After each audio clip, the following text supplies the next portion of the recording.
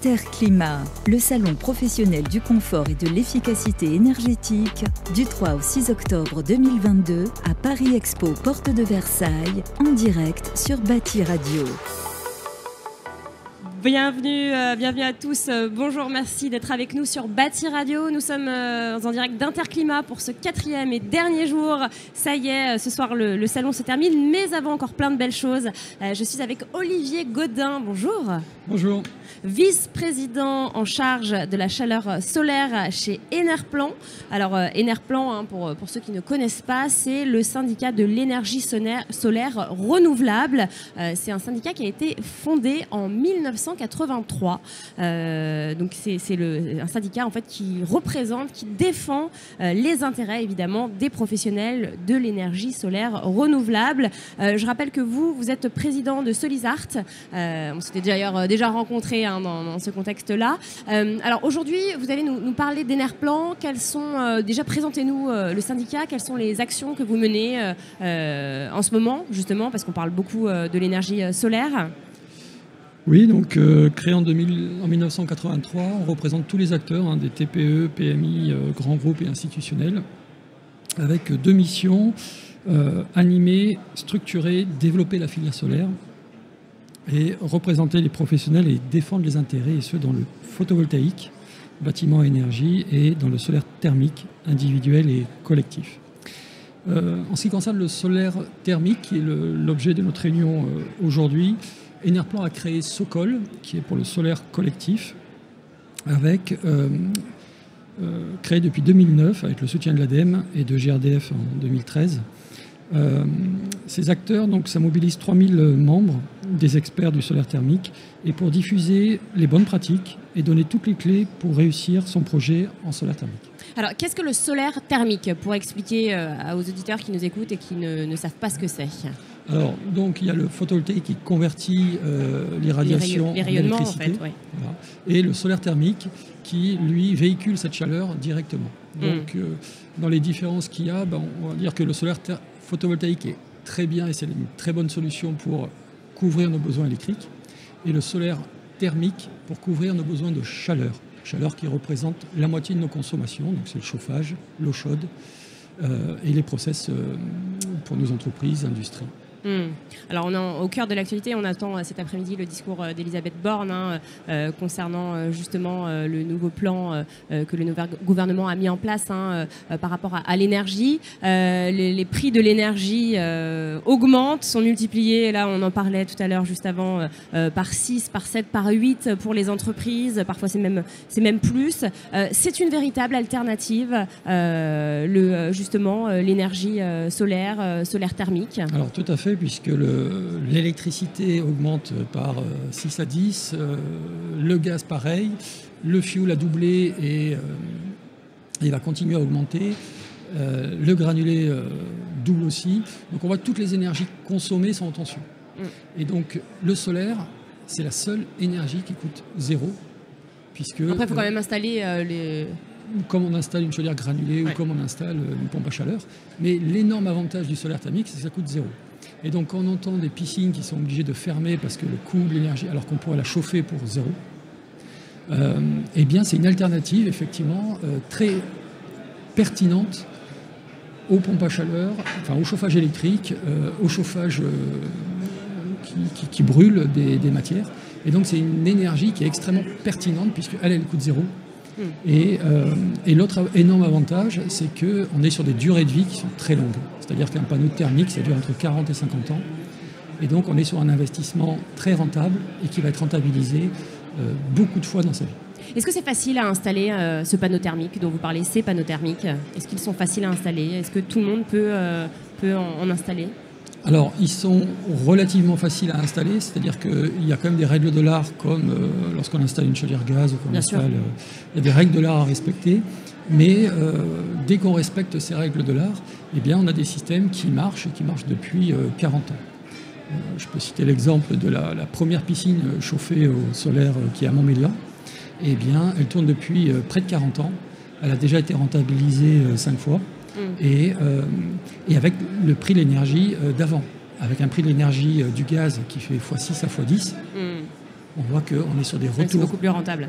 sur investissement maintenant qui sont extrêmement rentables. Euh, et, et alors justement, en revanche, euh, vous parlez de, de cette piscine, le temps pour la chauffer, est-ce que c'est le même avec euh, ce genre de panneau qu'avec euh, du gaz ou de l'électricité?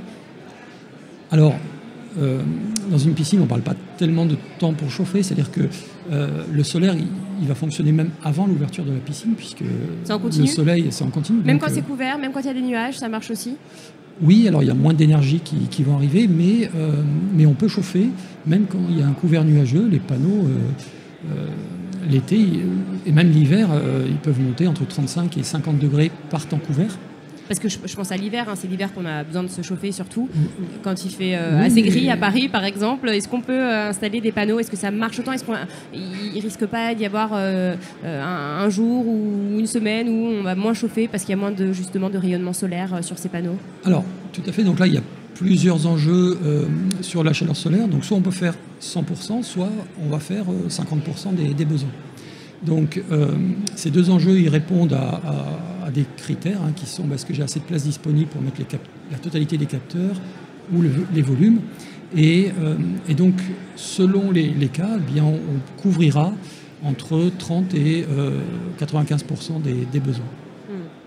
Alors, ça, apparaît vraiment comme une alternative. hein. Euh, ma question, c'est pourquoi on n'en parle pas Là, euh, cet après-midi, donc on attend, je l'ai dit tout à l'heure, le, plan sobriété hein, que Elisabeth Borne, euh, notre première ministre, va annoncer. Alors, on parle déjà bah, de, qu'elle va inciter au télétravail, à couper l'éclairage à certaines heures, à réduire, à couper l'eau chaude hein, dans les établissements aussi à certaines heures.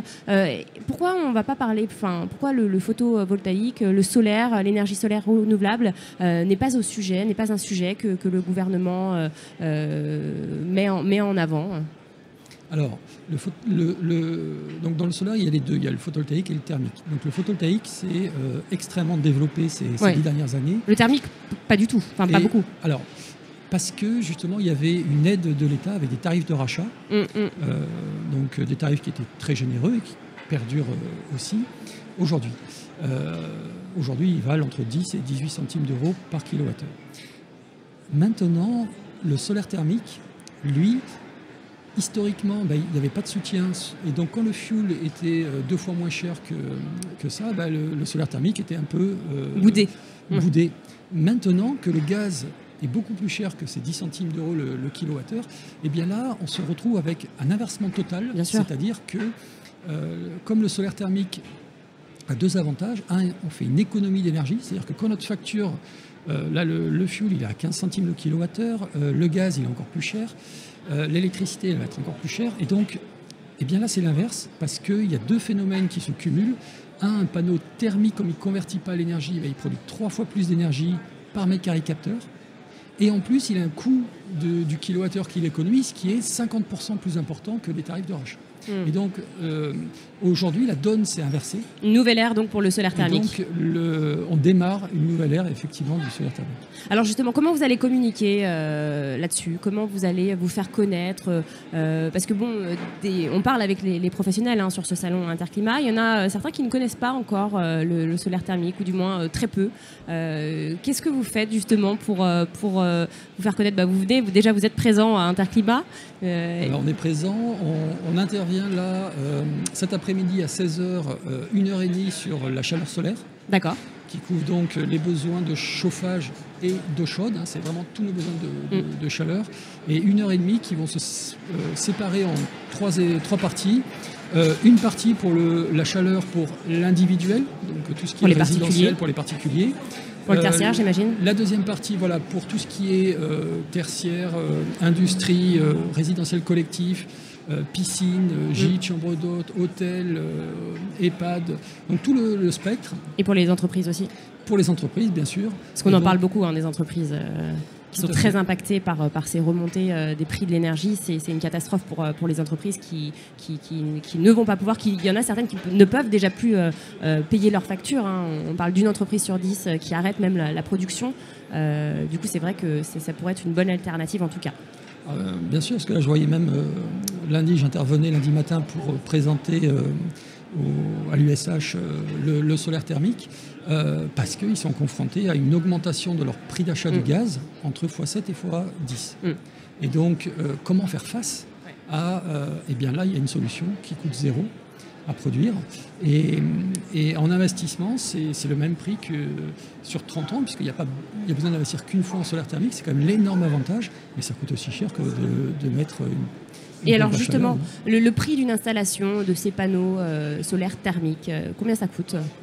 Alors, on, parle en mètres carrés, euh, en euros par mètre carré, donc on est à peu près à, à 1200, en voyant entre 500 et, et, 2000 euros du mètre carré. Alors pourquoi il y a une variabilité? C'est parce que plus la surface est petite de capteurs et plus le prix est élevé. Parce qu'on a c'est intense, j'imagine. Poser l'échafaudage, voilà, il y a un temps fixe. Et donc en fait, au plus on a des, besoins, donc si on a un chauffe-eau solaire, bah, ça, va coûter un petit peu plus cher au mètre carré. Si on a un chauffage solaire, bah, déjà on est presque deux fois moins cher. Et puis si on parle de l'industrie ou des très grandes surfaces, bah, là on va être euh, sur des prix euh, très très bas du mètre carré. Euh, mais la rentabilité est à peu près la même. Euh, elle, s'améliore un petit peu avec la surface, mais la rentabilité est très intéressante dès le, particulier parce qu'il n'a pas les mêmes tarifs d'achat que le gaz qu'un très gros consommateur. Et donc, euh, en fait, les rentabilités sont maintenant devenues excellentes pour l'individuel au collectif. D'accord. Olivier, peut-être un petit mot sur, sur le salon Interclimat. Est-ce que vous êtes content? Là, c'est le dernier jour. vous êtes là depuis, depuis lundi alors, alors moi personnellement, j'étais là lundi et, jeudi, mm. euh, donc il y a une belle fréquentation, donc ça, ça fait plaisir de revoir du monde euh, sur les salons, et donc on est, on est très content de, ce salon. Et les objectifs euh, sont atteints?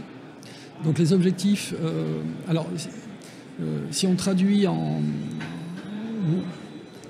si on traduit en, ça en, chiffre d'affaires, je vais donner l'exemple de ma société. Hein. on, est, euh, on voit une accélération de la demande, puisque euh, là, si je prends l'exemple de, septembre, on est sur du 100% de, croissance à la fois de la demande et à la fois du, chiffre d'affaires. Ah oui, 100%, d'accord, 100% de plus 100% du chiffre d'affaires, On était euh, sur des croissances, on va dire de 30% depuis le début de l'année. Et là, avec la hausse du prix de l'énergie, ah bah, ça devient les gens sont revenus euh, de vacances euh, et euh, c'est un peu la douche froide. On se rend compte que ben, voilà, les, prix augmentent, donc il y a de nouvelles solutions. Voilà, ben, les gens vont converger vers les bonnes solutions qui, restent et il n'y en a pas 36. C'est vrai qu'il n'y en a pas 36. Eh bien, merci infiniment, Olivier Godin. Vous animez une conférence tout à l'heure, du coup, au Salon Interclimat. C'est chaleur solaire pour lutter contre l'inflation. C'est à 16h, hein, si je ne me trompe pas. Tout à fait. Super. Eh bien, à tout à l'heure, on, on sera présent. Merci beaucoup, Olivier Godin. Merci à vous. Interclimat, le salon professionnel du confort et de l'efficacité énergétique, du 3 au 6 octobre 2022 à Paris Expo, porte de Versailles, en direct sur Bâti Radio.